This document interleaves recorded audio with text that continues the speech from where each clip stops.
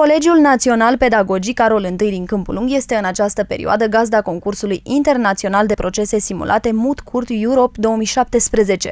Marți, în amfiteatrul prestigioase instituții de învățământ a avut loc o dezbatere pe teme legate de viitorul Uniunii Europene, prezentată de reprezentanții Fundației Olanda-România, fundație care a inițiat acest concurs.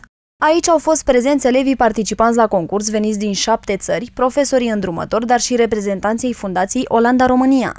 Din 2001, peste 1000 de elevi de-ai noștri merg în proiecte europene care sunt uh, concepute și implementate de Fundația Olanda-România.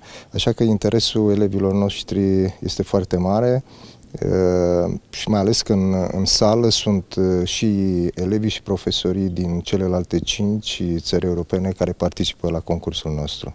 Abordarea pe care profesorul Dezvan uh, o are astăzi se referă, desigur, și la relația Uniunii Europene cu Rusia, având în vedere că una dintre echipele participante la Mood Court este echipa Rusiei. Deja am intrat într-o într-un uh, uh, cum să zic, într-un carusel, proiectele vin unul după altul, observăm că în cei 15 ani de colaborare fiecare proiect a adus după el un alt proiect, deci e un lanț care căruia nu, nu-i uh, vedem încă sfârșitul.